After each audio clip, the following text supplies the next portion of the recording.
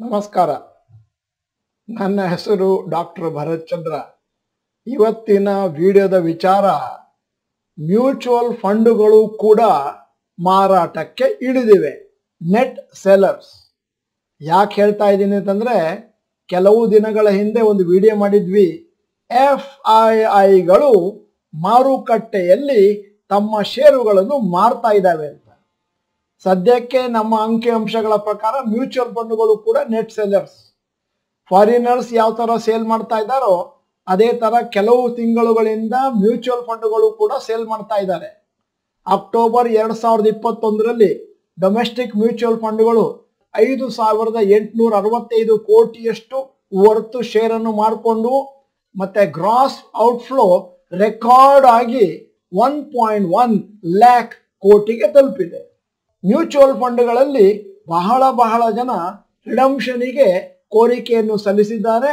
ಇದು ಎಷ್ಟಿದೆ ಅಂತಂದ್ರೆ ಹೊಸದಾಗಿ ಮಾರುಕಟ್ಟೆಯಲ್ಲಿ ಮ್ಯೂಚುವಲ್ ಫಂಡ್ಗಳನ್ನು ಕೊಳ್ಳುವವರ ಸಂಖ್ಯೆಗಿಂತ ಅಮೌಂಟಿಗಿಂತ ಜಾಸ್ತಿ ಇದೆ. ಆದರೆ ಒಂದು ಒಳ್ಳೆಯ ನ್ಯೂಸ್ ಏನು ಅಂತಂದ್ರೆ ಮ್ಯೂಚುವಲ್ ಫಂಡ್ಗಳಲ್ಲಿ ಸಿಸ್ಟಮ್ಯಾಟಿಕ್ ಇನ್ವೆಸ್ಟ್ಮೆಂಟ್ ಪ್ಲಾನ್ನಲ್ಲಿ ಹಣವನ್ನು ಹಾಕುವವರ ಸಂಖ್ಯೆ ದಿನ ದಿನ ಜಾಸ್ತಿ ಆಗ್ತಾ ಇದೆ. ಅಕ್ಟೋಬರ್ ಎರಡ್ ಸಾವಿರದ ಇಪ್ಪತ್ತೊಂದರಲ್ಲಿ ಹತ್ತು ಸಾವಿರದ ಐನೂರ ಹದಿನೆಂಟು ಕೋಟಿಯನ್ನು ಎಸ್ ಐ ಪಿ ಅಂತೆ ಜನ ಹೂಡಿದ್ದಾರೆ. ತೊಂಬತ್ತು ಪರ್ಸೆಂಟ್ ಅದರಲ್ಲಿ ಈಕ್ವಿಟಿ ಸ್ಕೀಮ್ಗಳಿಗೆ. ಇದು ಕೂಡ ಷೇರು ಮಾರುಕಟ್ಟೆ ಹೂಡಿಕೆದಾರರಿಗೆ ಒಂದು ಸಂತಸದ ಸುದ್ದಿ. ಬಹುಶಃ ಈ ಜನ ಕೋರಿಕೆ ಸಲ್ಲಿಸಿದಾರಲ್ಲ, ಅವರು ಹಿಂದಿನ ದಿನಗಳಲ್ಲಿ ಒಂದು ದೊಡ್ಡ ಮೊತ್ತದ ಹಣವನ್ನು ಲಂಸಮ್ ಆಗಿ ಹಾಕಿದವರು ಅಂತ ಊಹಿಸಬಹುದಾಗಿದೆ. ಒಟ್ಟು ಐದು ಪಾಯಿಂಟ್ ಐದು ಲಕ್ಷ ಕೋಟಿ ಎಸ್ ಐ ಪಿಯ ಮುಖಾಂತರ ಅಕ್ಟೋಬರ್ ಎರಡ್ ಸಾವಿರದ ಇಪ್ಪತ್ತೊಂದರಲ್ಲಿ ಮ್ಯಾನೇಜ್ ಮಾಡಲ್ಪಟ್ಟಿದೆ ಮ್ಯೂಚುವಲ್ ಫಂಡ್ಗಳಲ್ಲಿ ಸಾಮಾನ್ಯವಾಗಿ ತಿಳಿದು ಬಂದ ವಿಚಾರ ಏನು ಅಂತಂದ್ರೆ, ಮಾರುಕಟ್ಟೆ ಕುಸಿತದ ಸಮಯದಲ್ಲಿ, ಮಾರುಕಟ್ಟೆಯಲ್ಲಿ ದುರ್ಬಲತೆ ಇರುವ ಸಮಯದಲ್ಲಿ ಹೂಡಿಕೆದಾರರು ಎಸ್ ಐ ಪಿಯನ್ನು ಸ್ಟಾಪ್ ಮಾಡ್ತಾರೆ.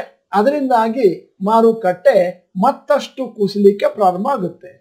ಭಾರತದಲ್ಲಿ ಎಫ್ ಐ ಐಗಳು ಮತ್ತು ಡಿ ಐ ಐಗಳು ದೊಡ್ಡ ಪ್ರಮಾಣದಲ್ಲಿ ಷೇರುಗಳನ್ನು ಮಾರಾಟ ಮಾಡಬೇಕಾದ್ರೆ ಮಾರುಕಟ್ಟೆ ಭಯಂಕರವಾಗಿ ಕೆಳಗೆ ಬೀಳ್ತದೆ ಆದರೆ ಸದ್ಯಕ್ಕೆ ರಿಟೇಲ್ ಇನ್ವೆಸ್ಟರ್ಸ್ ಡೈರೆಕ್ಟ್ಲಿ ಷೇರು ಮಾರುಕಟ್ಟೆಯಲ್ಲಿ ಇಂಡೈರೆಕ್ಟ್ಲಿ ಮತ್ತೆ ಮ್ಯೂಚುವಲ್ ಫಂಡ್ಗಳ ಮುಖಾಂತರ ಹಣವನ್ನು ಹೂಡ್ತಾ ಇರೋದ್ರಿಂದ ಅಷ್ಟಾಗಿ ಮಾರುಕಟ್ಟೆ ಬೀಳ್ತಾ ಇಲ್ಲ. ಎಷ್ಟು ಬೀಳ್ಬೇಕಿತ್ತು ಆ ತರ ಬೀಳ್ತಾ ಇಲ್ಲ. ಸದ್ಯಕ್ಕೆ ಮಾರುಕಟ್ಟೆಯಲ್ಲಿ ಸೆಂಟಿಮೆಂಟ್ ಸ್ವಲ್ಪ ವೀಕ್ ಆಗಿದೆ. ಇವತ್ತು ಕೂಡ ಮಾರುಕಟ್ಟೆ ಪಾಸಿಟಿವ್ ಆಗಿ ಓಪನ್ ಆಯಿತು. ಆಮೇಲೆ ನಿಧಾನಕ್ಕೆ ಸ್ವಲ್ಪ ನೆಗೆಟಿವ್ ಆಗಿ ಕ್ಲೋಸಿಂಗ್ನಲ್ಲಿ ನೆಗೆಟಿವ್ ಆಗಿ ಕ್ಲೋಸ್ ಆಗಿದೆ. ಫಾರಿನ್ ಇನ್ಸ್ಟಿಟ್ಯೂಷನಲ್ ಇನ್ವೆಸ್ಟರ್ಸು ಅಕ್ಟೋಬರ್ ಇಂದ ನಿರಂತರವಾಗಿ ಇಪ್ಪತ್ತೈದು ಸಾವಿರ ಕೋಟಿಯ ವರ್ತು ಷೇರುಗಳನ್ನು ಮಾರ್ಕೊಂಡ್ರೆ, ಡೊಮೆಸ್ಟಿಕ್ ಇನ್ಸ್ಟಿಟ್ಯೂಷನಲ್ ಇನ್ವೆಸ್ಟರ್ಸ್ ಒಂದು ಅಂದಾಜು ಹದಿನೈದು ಸಾವಿರ ಕೋಟಿಯನ್ನು ಷೇರು ಮಾರುಕಟ್ಟೆಯಲ್ಲಿ ಅಕ್ಟೋಬರ್ ಎರಡ್ ಸಾವಿರದ ಇಪ್ಪತ್ತೊಂದರಲ್ಲಿ ಹೂಡಿದ್ದಾರೆ. ಇವತ್ತು ಏಳುವರೆ ಗಂಟೆಗೆ ನಮ್ಮ ಚಾನಲ್ ಟೂ ಅಲ್ಲಿ ಮಾರುಕಟ್ಟೆ ಕುಸಿತದ ಭವಿಷ್ಯ ಮೊದಲೇ ತಿಳಿಯುವುದು ಹೇಗೆ? ಹೌ ಟು ಪ್ರಿಡಿಕ್ಟ್ ಅಂತ ವಿಡಿಯೋ ಮಾಡಿದ್ದೇವೆ. ಇದು ಎಲ್ಲರಿಗೂ ಉಪಯುಕ್ತ. ದಯವಿಟ್ಟು ಕೊನೆವರೆಗೂ ನೋಡಿ. ಸದ್ಯದ ವರದಿಯ ಮೇಲೆಗೆ ರಿಸರ್ವ್ ಬ್ಯಾಂಕ್ ಆಫ್ ಇಂಡಿಯಾದವರು ಇಂಟ್ರೆಸ್ಟ್ ರೇಟ್ ಅನ್ನು zero point two five percent ಮೇಲಕ್ಕೆ ತೆಗೆದುಕೊಂಡು ಹೋಗುವಂತಹ ಸಾಧ್ಯತೆಗಳಿದಾವೆ ಮೊದಲನೆಯ ವಾರ ಡಿಸೆಂಬರ್ನಲ್ಲಿ. ಸಾಮಾನ್ಯವಾಗಿ ಇಂಟ್ರೆಸ್ಟ್ ರೇಟು ಜಾಸ್ತಿ ಆದಾಗ ಕಂಪನಿಗಳ ಲಾಭ ಕಮ್ಮಿ ಆಗುತ್ತೆ, ಮತ್ತೆ ಲೋನಿನ ರೇಟು ಕೂಡ ಜಾಸ್ತಿ ಆಗೋದ್ರಿಂದ ಮಾರುಕಟ್ಟೆಯಲ್ಲಿ ಕರೆಕ್ಷನ್ ಆಗುವಂತ ಸಂಭವಗಳು ಇದಾವೆ. ಅಲ್ಲದೆ ಯು ಎಸ್ ಫೆಡರಲ್ ರಿಸರ್ವ್ ಅವರು ಕೂಡ ತಾವು ತಮ್ಮ ಬಡ್ಡಿಯ ದರವನ್ನು ಮುಂದಿನ ದಿನಗಳಲ್ಲಿ ಮೇಲಕ್ಕೆ ತಗೊಂಡು ಹೋಗ್ತೇವೆ ಅಂತ ಹೇಳ್ತಾ ಇದ್ದಾರೆ. ಯಾಕಂತಂದ್ರೆ ಅಮೆರಿಕದಲ್ಲಿ ಹಣದ ಉಬ್ಬರ ದಿನ ದಿನ ಜಾಸ್ತಿ ಆಗ್ತಾ ಇದೆ. ಸಾಮಾನ್ಯವಾಗಿ ನಾವು ನೋಡಿದ ಹಾಗೆ ಅಮೆರಿಕದಲ್ಲಿ ಇಂಟ್ರೆಸ್ಟ್ ರೇಟು ಜಾಸ್ತಿ ಆದಾಗ ಫಾರಿನ್ ಇನ್ಸ್ಟಿಟ್ಯೂಷನಲ್ ಇನ್ವೆಸ್ಟರ್ಸು ತಮ್ಮ ಷೇರುಗಳನ್ನು ಪ್ರಪಂಚದಾದ್ಯಂತ ಮಾರಾಟ ಮಾಡಿ ಹಣವನ್ನು ವಾಪಾಸು ಅಮೆರಿಕಕ್ಕೆ ಕೊಂಡೊಯ್ಯುತ್ತವೆ. ಈಗ ನಾವು ಕಾದು ನೋಡಬೇಕಾಗಿದೆ, ಮುಂದೆಯೂ ಇದೇ ರೀತಿ ಆಗುತ್ತಾ? ಮತ್ತೆ ಇಂಟ್ರೆಸ್ಟ್ ರೇಟು ಜಾಸ್ತಿ ಆದಾಗ ಇತರ ದೇಶಗಳಲ್ಲಿ ಮಾರುಕಟ್ಟೆ ಕುಸಿಯಲಿದೆಯೇ? ಅದು ಅಲ್ಲದೆ ಭಾರತದ ಬಜೆಟ್ ಇನ್ನೇನು ದೂರ ಉಳಿದಿಲ್ಲ.